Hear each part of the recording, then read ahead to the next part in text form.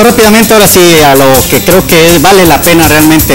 El clásico tamaulipeco, el clásico 22, el partido que la gente esperó muy buena entrada en el estadio Tamaulipas y sin duda yo creo que no, mmm, vaya, se ha abierto la crítica y lo hemos dicho, lo hicimos durante la transmisión Pedro es cierto, el equipo de Jaivos pues no, no ofreció grandes argumentos futbolísticos, pero hay que ser sinceros. Tiene la baja por, quizás por tontería, pierde la baja de Julio César Pardini porque no debiste haberte metido involucrado sabiendo que vas ganando el partido. Una. Y dos, este, también tienes la baja de David Jiménez, ya estás disminuido con hombres en el campo, ¿no? Son nueve hombres, es complicadísimo jugar un partido de fútbol, más en estas instancias, ¿no? Creo que para mí el factor que es este, digamos, en el funcionamiento del Tampico Madero es la salida de Carlos Regis, que aunque no tuvo un partido, digamos, este, bueno, pero un hombre que te controla mucho el balón, ¿no? Y a fin de cuentas, este, creo que ahí fue donde el Tampico Madero perdió un poquito. A pesar de eso, le funciona a Marino Guevara ese juego de las probabilidades.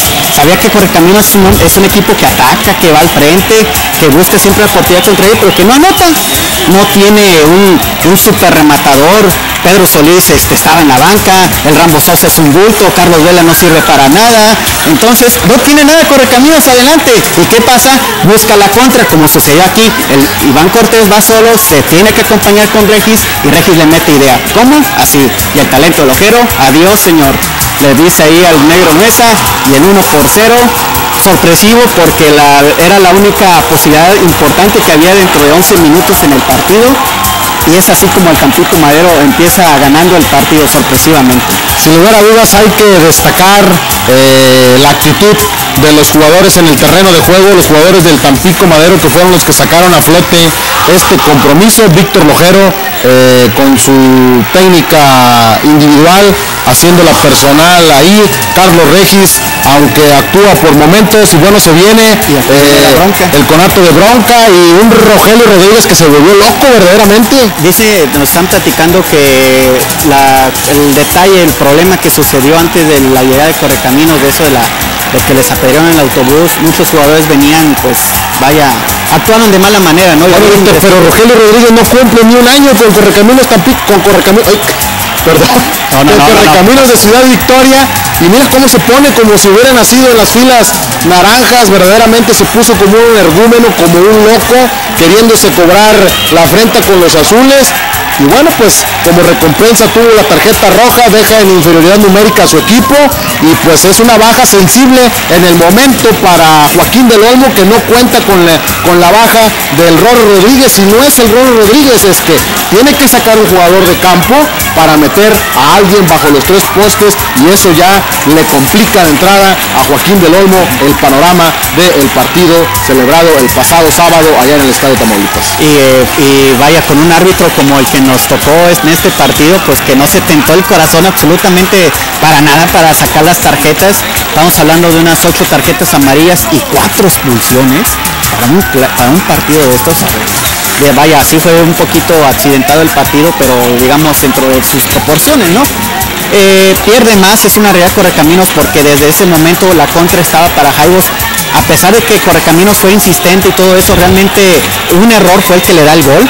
Aquí vemos aproximaciones pero realmente tímidas, bocas y solamente era Lojero el único que podía fabricar jugadas así en las cuales intentaba mediante este disparo de media distancia eh, hacer su segundo gol. Sin embargo, este, el que cuando tenía la decisión el Tampico de realmente ir al ataque, era, era mucho más peligroso todavía que Correcaminos. Correcaminos paseaba el balón, iba de un lado para otro, trataba de buscar, pero no tenía la profundidad. Cuando Esteban González tomaba el balón, se pegaba la banda, no tenía la responsabilidad real para, que, para llevar al equipo a, como se dice, subírselo a la espalda y llevarlo a, que trascendiera, ¿no? Y de ahí fuera, pues el poco talento que tiene este, el cuadro universitario, pues da precisamente con esto. Se encuentra con un gol que más adelante vamos a ver que es circunstancial, porque es eh, un rechace que sale eh, en una zona que debió haber cubierto Octavio Guerrero, pero en, un instante vamos a ver, ahí surge el gol. Yo creo que también una colaboración un poquito de Castro, que por esto Jorge Castro por el gol no lo vamos a entusiasmar porque dio un partidazo. El muchacho paró muy bien, eh, se vio este, serio, como quizás a lo mejor la gente no lo, no lo, este, mm, vaya, le había criticado, decía que, era, que a lo mejor era muy eh, intermitente, salía mal, por ejemplo en esta, donde afortunadamente este, sale muy bien, ahí también la defensa le, este, ayuda. Y así fue todo el segundo tiempo, ¿no? Eh, centros, centros, centros y más centros. De alguna u otra manera Correcaminos trataba de llegar así al área contraria. Este disparo de, Daniel Román que pasa cerca por ahí de la portería que ya defendía Jorge Salinas. Y así estuvo Correcaminos, encima, encima, aquí está Esteban González que nos demostró que su técnica de cabeceo es muy, muy mala. Muy deficiente. Muy deficiente. deficiente? Una aproximación más. Rápidamente, se ve ahí, ¿no? Esta era quizá la más clara, ¿no? Porque habían agarrado mal parado. Ángel Ramos Sosa cruza, pero cruza mala y un, un rechace. Aquí viene la, aquí viene una plancha ¿no? que comete ahí Armando Tavira sobre Rubén García y en este es precisamente esta jugada, vean, el mal rechace a Octavio Guerrero, que era su zona, se la pasa a Pedro Solís, remata mal, pero en el bote no le ayuda también a Jorge Castro y ahí es donde viene el empate. Nada más tengo la duda, es Luis Bustos el que es Luis Bustos. el que es el corte defensivo. Pero esa era una zona donde estaba Octavio ah, Guerrero. ahí era la zona de Octavio Guerrero que él debió haber cortado, porque él es el líbero. ahí está sobrando exactamente. Ahí está sobrando, ese, ese es su puesto.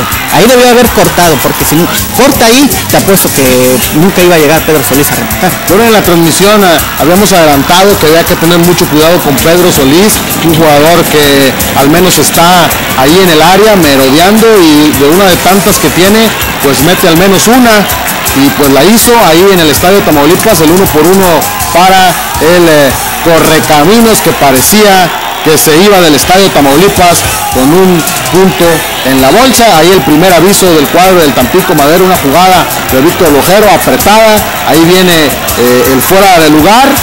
Y ahí la segunda María David Jiménez que ya ahí parecía que parecía que ya el partido se iba a complicar todavía más porque ya eran nueve hombres ya estaba prácticamente... se, le veía se le venía la noche o más oscura iba a ser la noche para el equipo del Tampico Madero ya con nueve hombres y con un correcaminos que eh, verdaderamente insistía y tocaba la puerta, pisaba el área, si bien no con peligrosidad, pero sí estaba ahí eh, merodeando y tratando de hacer el gol que marcara la diferencia. Ahí está una jugada más del correcaminos y viene el rechace defensivo, ahí van Cortés, la mala entrada del jugador de Correcaminos, Cortés tiene la pelota, sirve para Rubén García y Rubén García ahí para Víctor Lojero que no la piensa y la pone al fondo de las redes, la locura en el estadio Tamaulipas, la locura en el palco de transmisión de Multimedios Televisión y lo escuchó todo Tamaulipas, Tampico Madero ganó el clásico a Correcaminos de Ciudad Victoria ya lo dice, ya lo dijo o ya quedó plasmado para la historia en la